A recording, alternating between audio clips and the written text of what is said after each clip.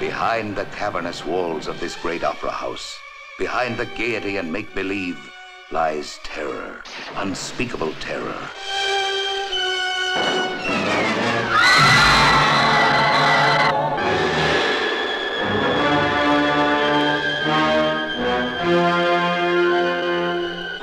Who was this phantom plotting and scheming behind so grotesque a mask?